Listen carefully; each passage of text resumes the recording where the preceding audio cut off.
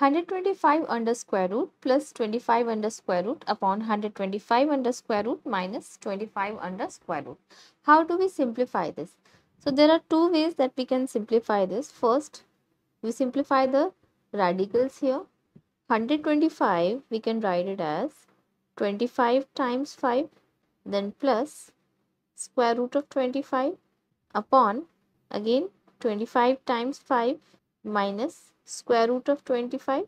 Now when a times b is under square root, it means square root of a times square root of b. So here we can write square root of 25 times square root of 5 plus square root of 25 upon square root of 25 times square root of 5 minus square root of 25.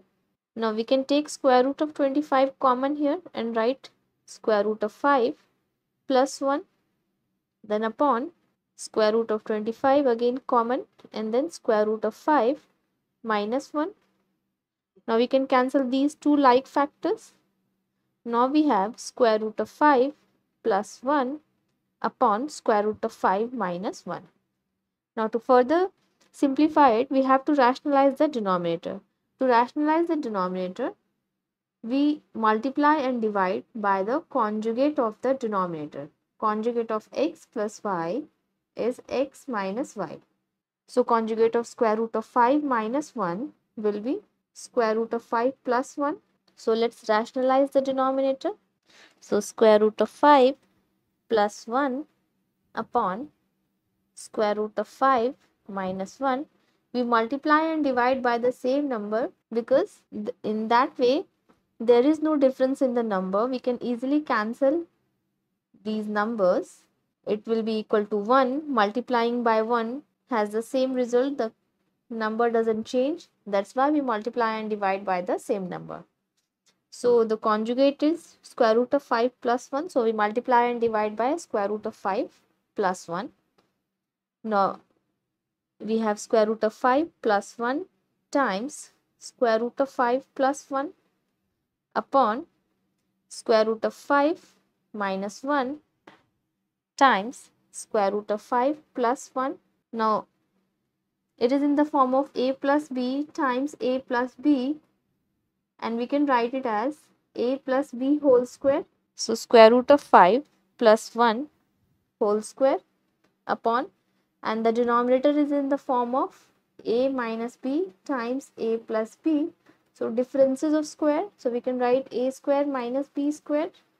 So we can write square root of 5 square minus 1 square.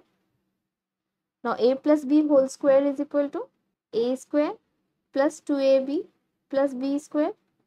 So it is square root of 5 square plus 2 times square root of 5 plus 1 upon we can remove the square root with the square so this is 5 minus 1 here also we can remove the square root with the square. So it is 5 plus 1 is 6 plus 2 times square root of 5 upon 5 minus 1 is 4.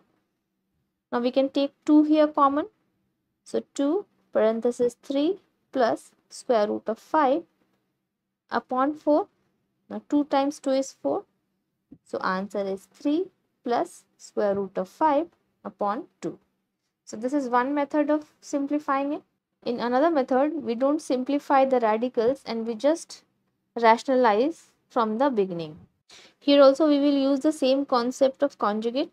So square root of 125 plus square root of 25 upon square root of 125 minus square root of 25. We rationalize it.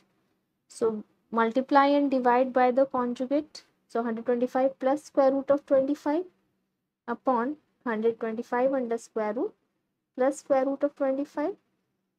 So this is 125 under square root plus 25 under square root whole square upon 125 under square root whole square minus square root of 25 square. Now this is a plus b whole square. So 125 under square root whole square plus 2 times 125 under square root times 25 under square root plus 25 under square root square.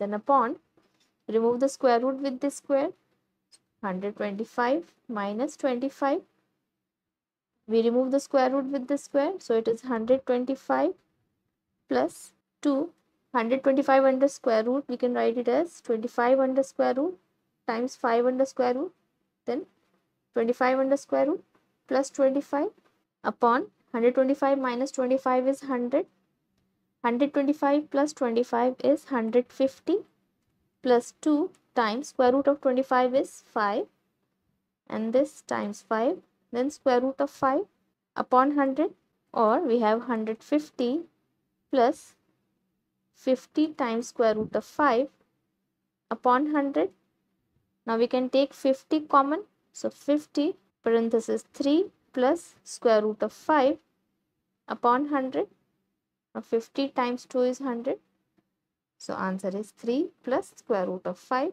upon 2 so you can use any of these two methods. Which method did you like more? Let me know in the comment section. Thanks for watching